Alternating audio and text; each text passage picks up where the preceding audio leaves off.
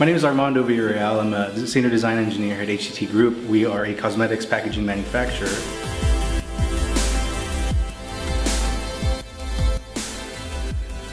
But we've increasingly gotten a lot of requests for kits, boxes, and thermoforming trays. We initially started off by 3D printing them. That got to be a little bit expensive and time consuming, so we went around looking for a solution to make them also more realistic, and that's when we came across Formech 300XQ. It has, it has the size that we needed. It's pretty easy to use, and it used the materials that we needed. We are not mold makers or tool makers, we're designers, so this is the first time we're getting into the tool and mold making. We're, we're working with Formech to help us in, in not only in learning, but in creating some if we really need the help.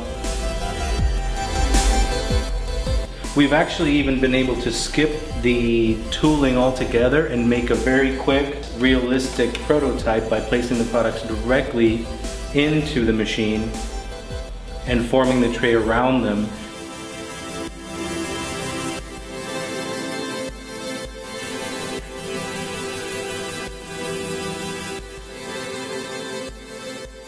We often have products that have textured finishes and that's something that we can actually do when we're in the mold making process as well.